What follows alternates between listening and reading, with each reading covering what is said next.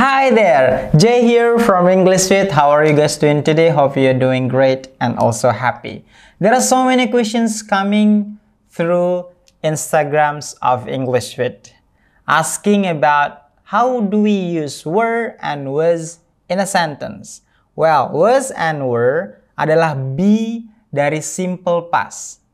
Alright? Without any further ado, let's get into the lesson. Aturan penggunaan was and were in a sentence. The first thing we have to know when do we use was and were in a sentence.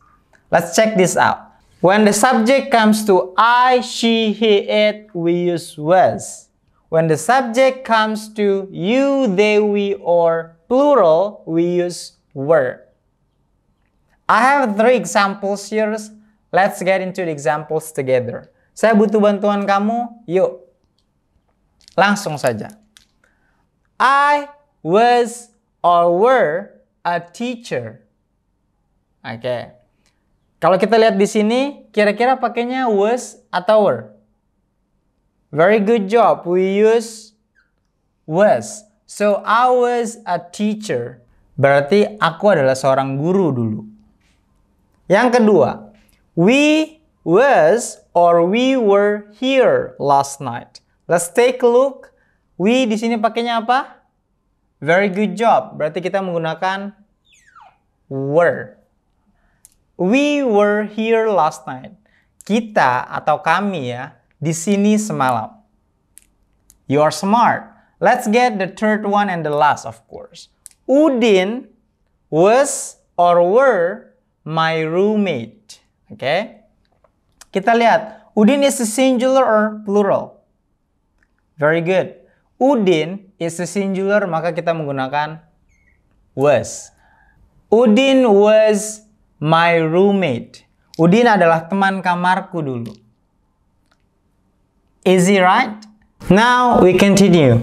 I'll show you how to make positive sentence, negative sentence, and also interrogative sentence. Without any further ado, let's get into the examples.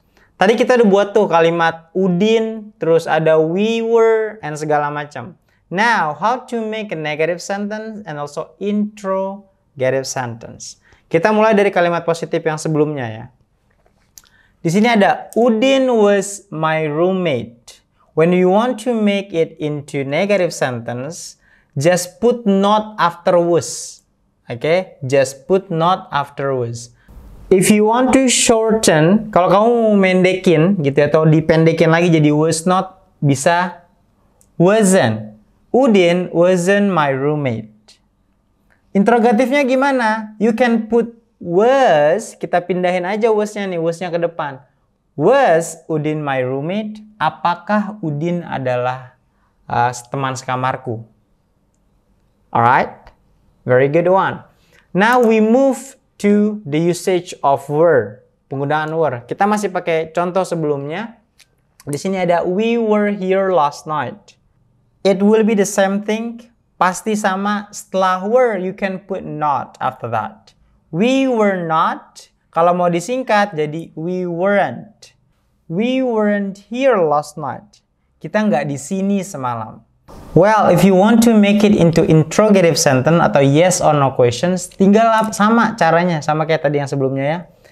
Letakkan were-nya di depan, then after that subject, and then here.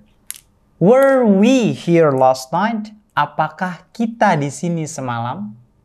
Were we here last night? Kalau subjeknya, it depends on the subject. Got it? That's a very good of you. I do believe that you understand the lesson. If you don't, try to put it again, play it again. Okay? And if you want to get more more lessons about it, if you want to get like practical learnings, you can join one of our online classes at English Fit. So you can learn with the practical method.